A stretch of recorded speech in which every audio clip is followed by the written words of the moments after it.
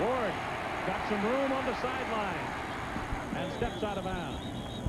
So he used a goodly bit of time looking around and then running out of bounds.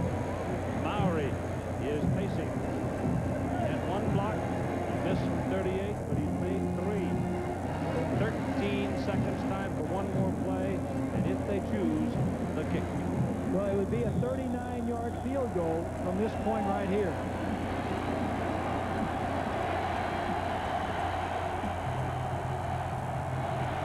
Ward is 20 out of 39, 261, and two interceptions.